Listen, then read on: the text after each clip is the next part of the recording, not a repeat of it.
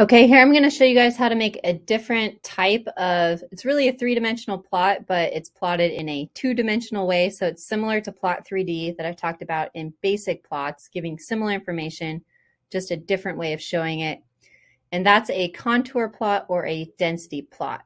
Okay, so this is actually the same function that I plotted previously in plot 3D. Okay, and I'll quickly plot that here just so you can see what it looks like.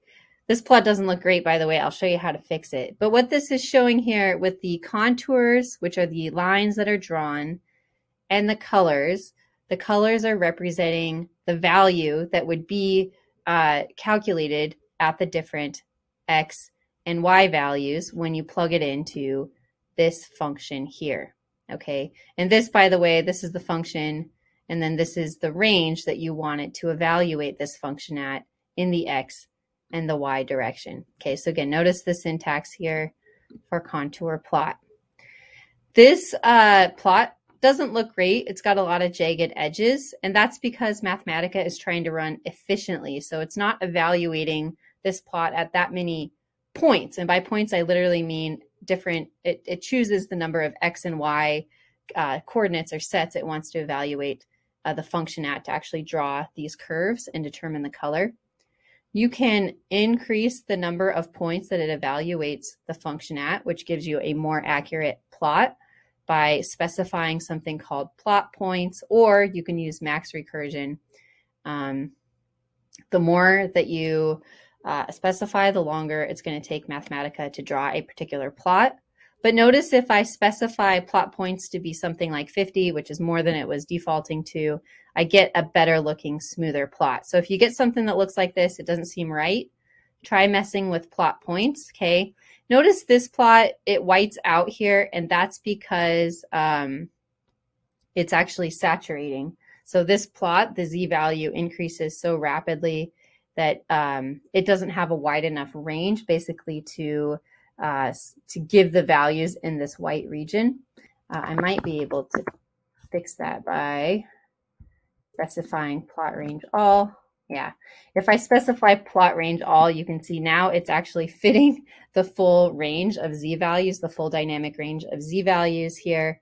But because the z values are so high here, it doesn't have enough contour lines to actually show uh, all the interesting behavior of the function. Okay, so if I look down here, there's some more things that I can do to fix the look of the plot here.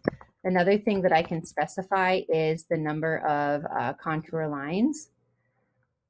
And notice if I start typing, uh, or contours, if I can type correctly, if I start typing this in, I can actually see some of the possible syntax. And I think I can up this even more if I want. Okay, so if I go way high, I can start seeing uh, some of the other um, values in the function. Okay, now I've got 100 contour lines.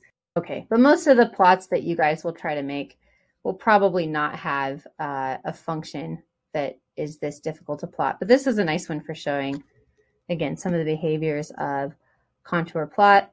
Another option uh, is to use density plot it's similar. It just shows the color variation or it uses colors to show uh, the changes in the height or the z value of this function rather than plotting lines.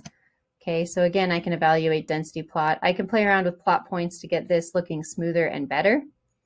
Okay, um, and the last thing I'm showing you here is that if I say I want the function equal to a specific value, it will just plot one particular contour line. So this contour line here, or these contour lines, specify the x and y points where this function is equal to 0.02. So that might be useful for some applications. Notice the syntax here. It is a double equal sign. Okay, so that's how contour plot works. It's another nice one if you wanted to say plot the strength of an electric field around some object or something like that. You'll often see these in PhET sims, where again, you're trying to represent the change in some value in two dimensions with colors and lines.